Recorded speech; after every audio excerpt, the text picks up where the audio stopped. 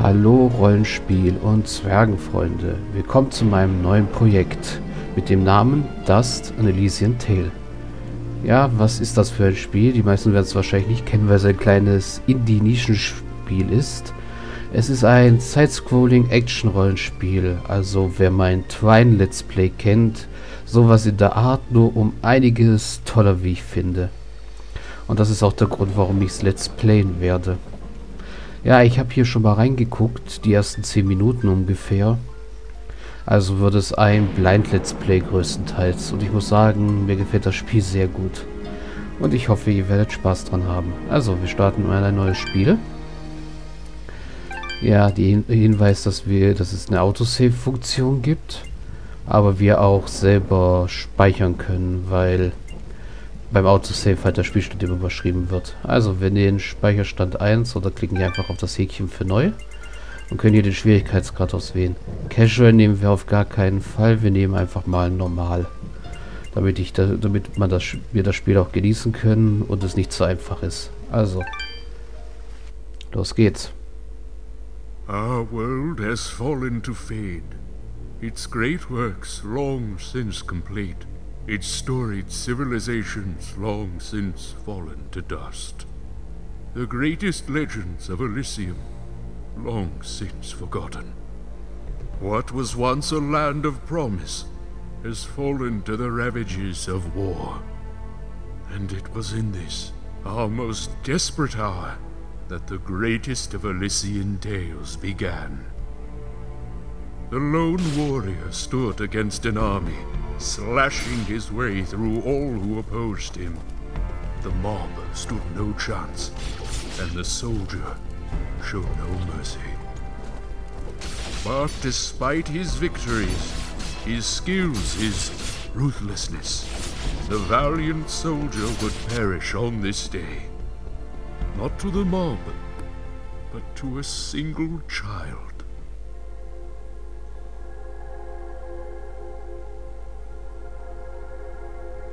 Dust. Ja, das war das Intro sozusagen, obwohl ich schon selber ein bisschen eingreifen konnte und als dieser komische Sch äh, Krieger, als dieser Schatten äh, gegen die eher bauernhaften Gegner kämpfen konnte. Ja, wie man merkt, das Spiel ist größtenteils synchronisiert, zwar auf Englisch, ich hätte es liebend gerne auf Japanisch gehabt, weil man sieht schon, es ist so ziemlich japanisch angehaucht und aber ja, es geht leider nur Englisch. Aber wie man hier schon sieht, einer der Gründe, warum mir das Spiel so gut gefällt, ist das Art Design. Also die ganzen gezeichneten Umgebungen und alles. Und wie ich schon sagte, das Spiel ist synchronisiert. Also werde ich während den Dialogen die Klappe halten. Der deutsche Untertitel kommt ja hier und ich lasse euch genug Zeit zum Lesen. Also, machen wir weiter. Dust. All right.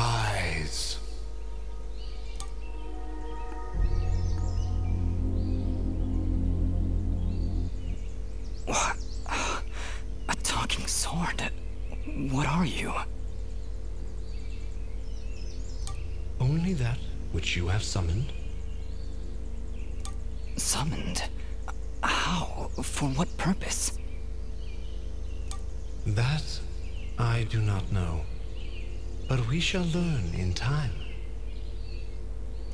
Now rise and claim the blade of Ara.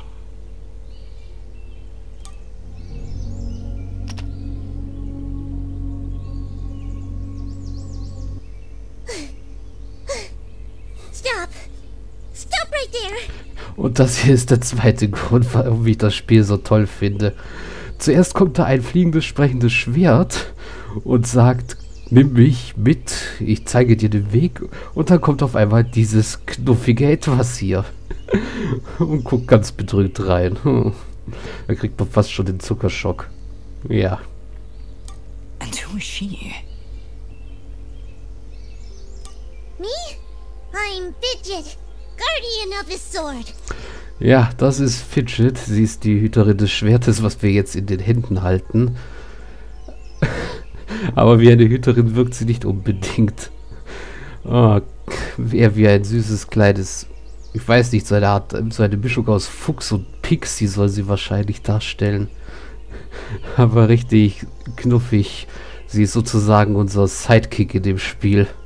Auch wenn sie nützlicher ist als gewisse andere Sidekicks, die nur dauernd schreien, hey, hör mir zu. wenn ihr wisst, was ich meine. Aber ja, wir können jetzt rollenspielmäßig einen Dialog mit dir führen. Sagen wir erstmal, du siehst mir nicht aus wie eine Hüterin. No offense, but aren't you a bit, well, small? For a guardian, I mean. Hey, I just look after that thing. After 200 years, nobody expects the sword to just fly off and start, you know, talking. Ja, ihr Blick ist auch toll. I'm kind of wishing somebody told me this was part of the job description. Or maybe they did, and I just wasn't paying attention. Yeah, that happens sometimes. Ja, Stellenausschreibung, das ist gut. Stellt euch mal dieses kleine Etwas hier vor mit der Zeitung in der Hand, wie es in der Jobbörse rumsucht nach einem nach einer neuen Stelle. Ja, dein Name ist Fidget?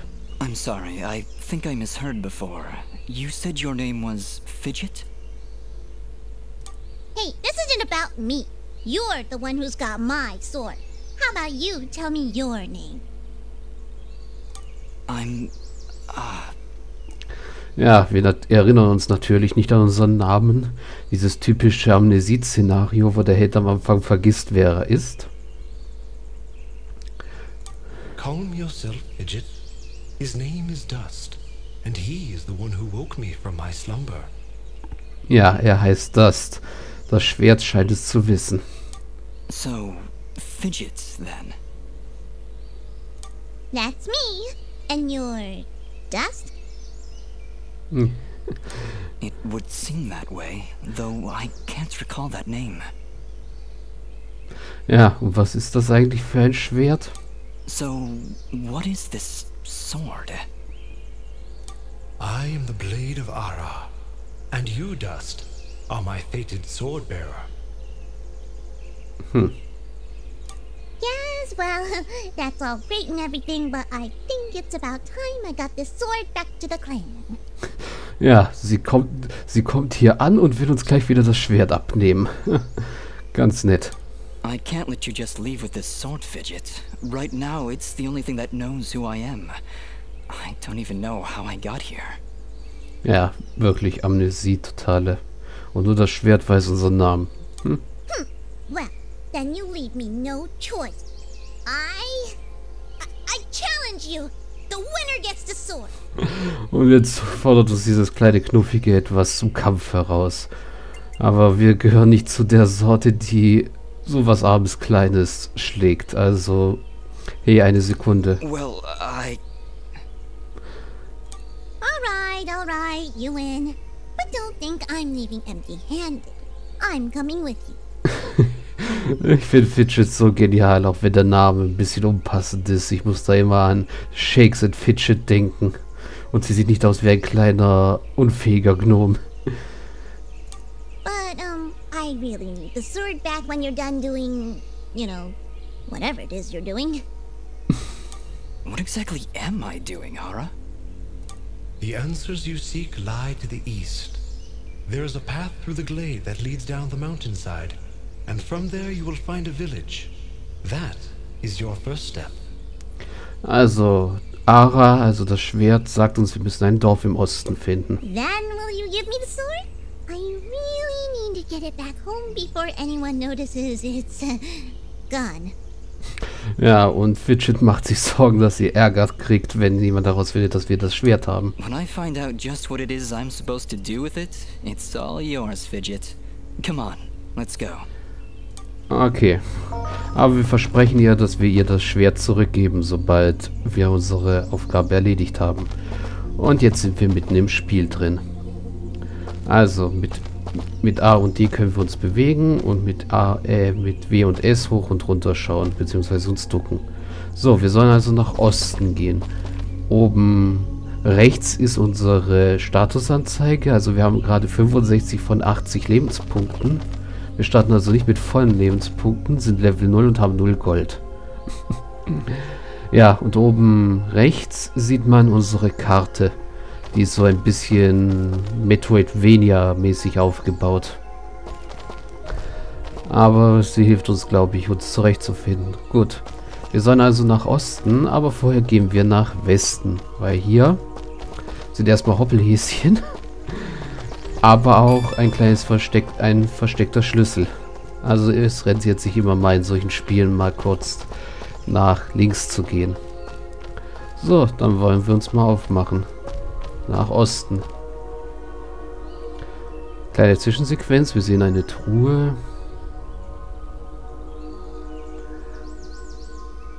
Und haben die Lichtung betreten. Hm. Kleiner, lauschiger Ort. Und ja, mit der Leertaste können wir springen. Und mit W und S können wir eben nach oben und unten gucken.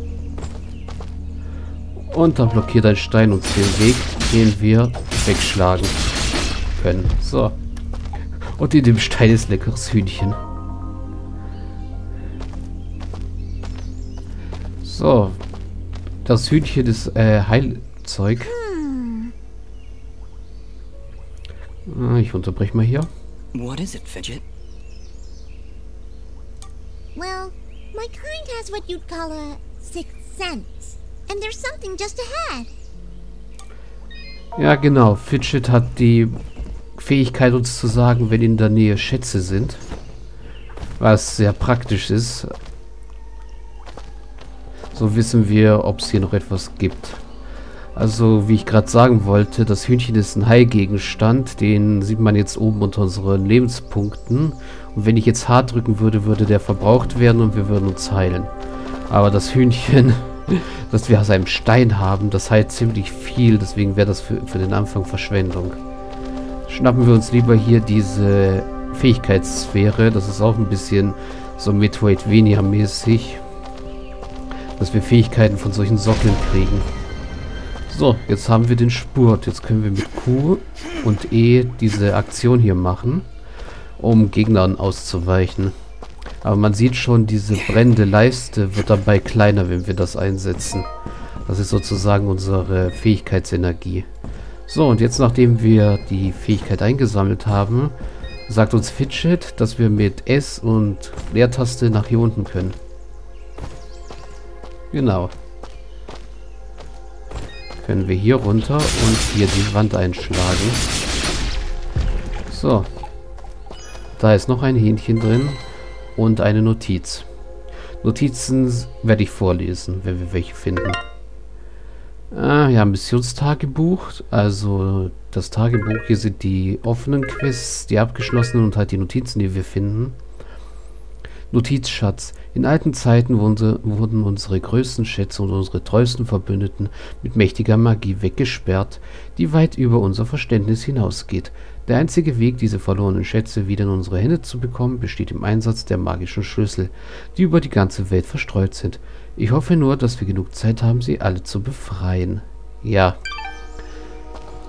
falls es noch, niemand, nicht, noch nicht jemandem aufgefallen ist, wir sind kein Mensch, wir sind eher so eine Art Fuchs oder ich würde eher sagen von der Farbgebung her ein Wolf. Also ich glaube Menschen gibt es hier gar nicht. Und ja, wir haben die Truhe gefunden, die wir gerade am Anfang gesehen haben, als wir die Lichtung betreten haben. Correction. We found a locked chest. Well, what are you waiting for? Smash it open. Und ja, Fidget geht gleich zur Sache, schlagt die Truhe auf. Ganz gewalttätig. That would be unwise, Dust. These chests are protected by arcane locks from the last era, and are well beyond my capabilities. I suppose we'll need a key then. Ja, aber wir haben auch einen Schlüssel. Und wenn wir jetzt hier W drücken, können wir die Kiste benutzen. Und Fidget sagt uns sogar, wie viele Schlüssel wir haben. So, jetzt kommt ein kleines Minispiel, was eigentlich ganz einfach ist. Wir müssen nur die richtige Richtung drücken. So, und schon geht die Truhe auf. Und wir kriegen Gold und Schätze. So, dann gucken wir mal kurz ins Inventar. Wir haben einen Stein der Wiedergeburt bekommen. Damit äh, falls wir sterben sollten, stehen wir damit einfach wieder auf. Und das hier sieht man schon, ist unser Inventar. Aber bevor ich das erkläre, mache ich erstmal kurz ein... Nee, halt, das ist die erste Folge, die mache ich etwas länger. Sorry. Also, das hier ist das Inventar. Hier seitlich sehen wir noch unsere Statuswerte, weil die Ausrüstung ja auch halt auf die Statuswerte Einfluss hat.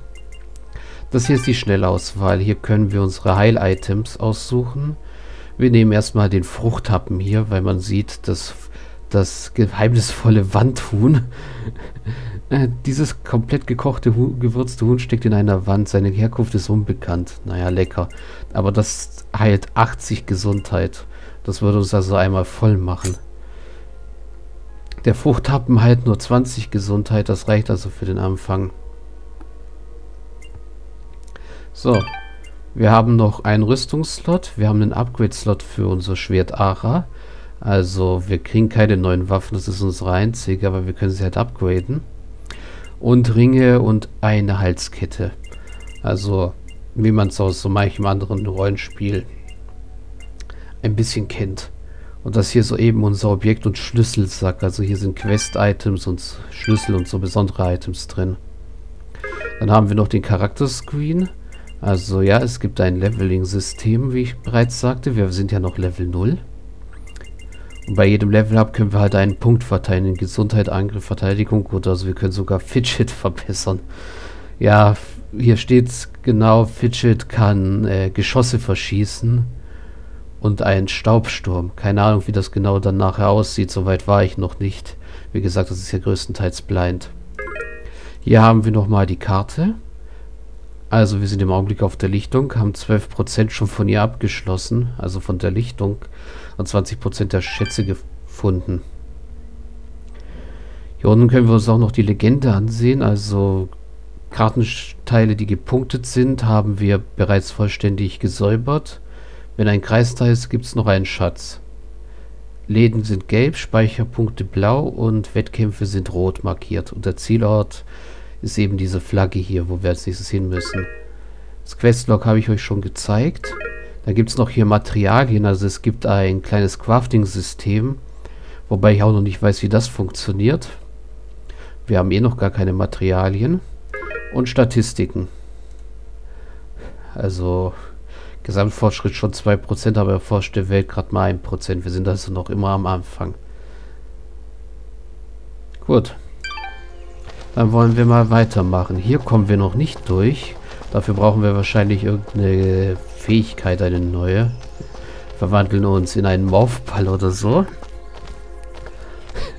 Nein, das wäre vielleicht etwas zu übertrieben. Aber gut. Wie man sieht, dieser Bereich ist blau, also gibt es hier schon mal den ersten Speicherpunkt. Und eine Zwischensequenz. Das Reh läuft weg und die ersten Gegner tauchen auf. Und Fidget kriegt einen Herzinfarkt. Calm yourself, Fidget. Dust. Focus. Remember what you've learned thus far.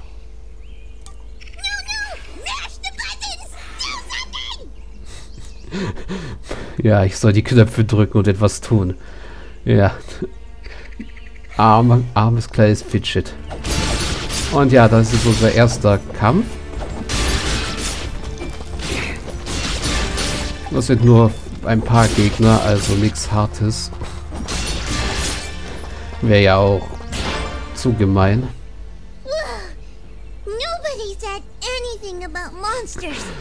Wenn sie Angst hat, ist sie irgendwie noch putziger, finde ich. Strange. Where did I learn these skills?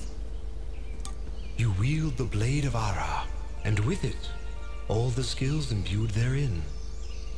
Ja, also wir kontrollieren Ara und auch die Fähigkeiten. Uh, hello? Monsters? Ich sehe keine Monster mehr, Fidget. Is that why I summoned you? To control this power? It is unlikely, Dust, that I would awaken from my slumber for such selfish reasons. Ja, das rechtschaffene Schwert. There is a village beyond these woods. Perhaps finding it will aid in restoring your memories. Ja, das hat er schon gesagt. And then we'll be in the clear, right? No more monsters? Fidget, I think things are about to get a whole lot worse. and to think, this morning started off so well. At least take these feeble fruits. Something tells me you're going to need them. Ja, und Fidget schenkt uns fünf äh, Äpfel. Hm, das ist schon mal sehr gut. So, und das hier ist der erste Speicherpunkt. Hier können wir uns angeblich auch irgendwann teleportieren, wenn wir Zugriff auf die Weltkarte haben. Aber im Augenblick wollen wir nur speichern. So, und an dieser Stelle mache ich jetzt wirklich mal einen Cut. Also, bis gleich.